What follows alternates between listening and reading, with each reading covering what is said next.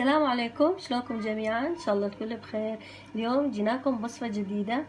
لمحبي القهوة الباردة راح نعمل معاكم القهوة الباردة بأسهل طريقة إن شاء الله وطعم رائع. كوب من الحليب ثلاث معالق من المي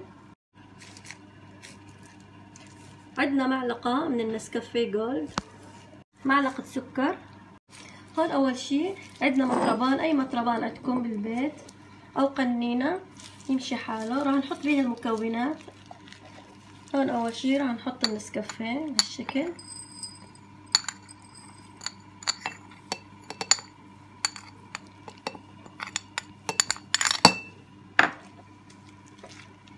نحط السكر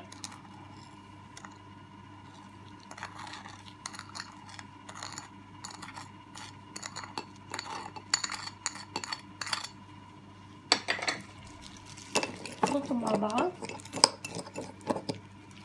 هون عندنا ثلاث معالق من المي نخلطهم كلهم مع بعض. راح نسكر عليهم. هون راح نمزجهم مع بعض بهالطريقة هاي.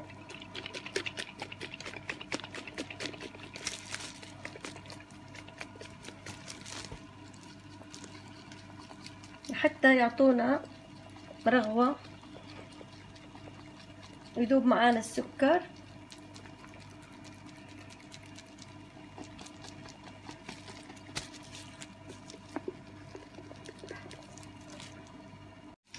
هون ذابت معانا هون صار على الشكل رغوي قهوة راح نزين الكاسة هون عندنا معانا كاسة.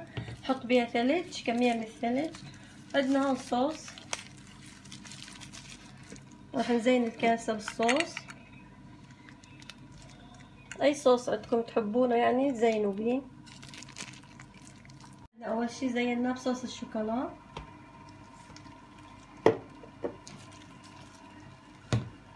هون عندنا صوص شوكولا الحليب. يعني الزينة اختيارية مثل ما تحبون زينوا هون عندنا صوص الحليب شوكولاتة الحليب.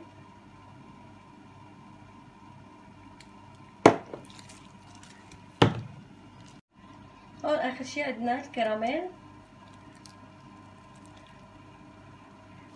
هون زيناها بهالشكل راح نحط الحليب. الثلج بعدها راح نحط القهوة. اللي عملناها معاكم.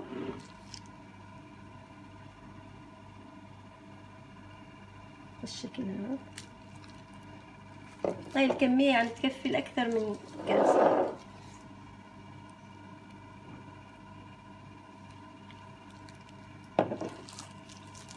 هاي عندنا القهوة صارت جاهزة. شوفوا منظرها.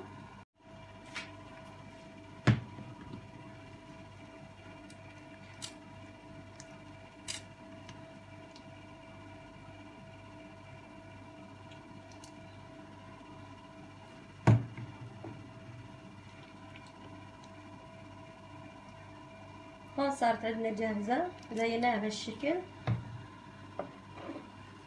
شاء الله تعجبكم. ألف صحة وعافية. لا تنسونا من اللايك والاشتراك بالقناة.